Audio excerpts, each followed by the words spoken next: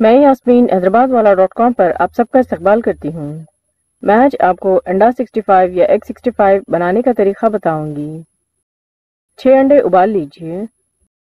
इनका छिलका निकालकर चार हिस्सों में इन्हें कट कर लीजिए।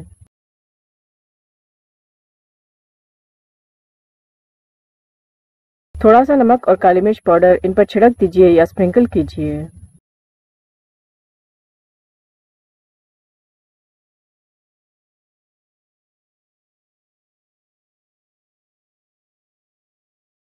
बोल में चार टेबलस्पून कॉर्नफ्लावर डालिए।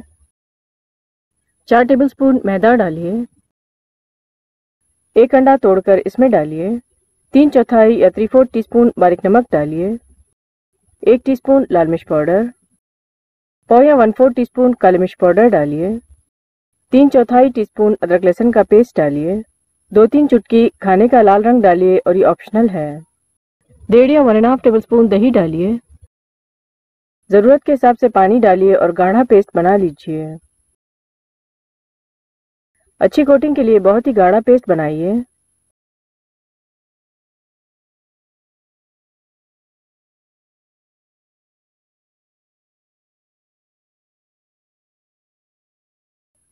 तलने के लिए तेल डालिए।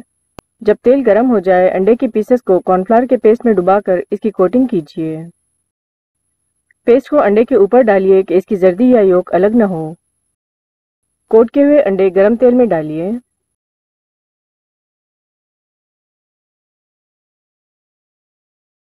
एहतियात से इन कोट किए हुए अंडों को दोनों तरफ़ ब्राउन रंग के होने तक तल लीजिए और निकाल लीजिए।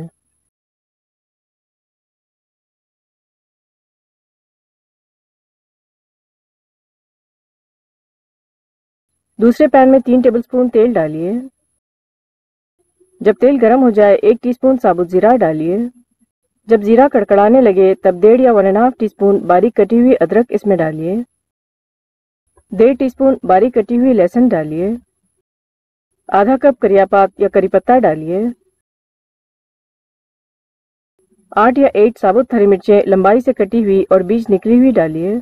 तीस सेकंड तक इसे भून लीजिए। पौ या वन फोर टीस्पून नमक डालिए। आधा टीस्पून लाल मिर्च पाउडर। डेढ़ या one and half tablespoon red chilli sauce डालिए। अगर आप कम स्पाइसी चाहते हैं, तब हरी मिर्चें और रेड चिली सॉस की मकदार या क्वांटिटी कम कर दीजिए। दो टेबलस्पून दही में दो टेबलस्पून पानी डालिए। अच्छी तरह से मिलाकर दो चुटकी खाने का लाल रंग डालिए और ये ऑप्शनल है। अच्छी तरह से मिलाकर पैन में दही डालिए।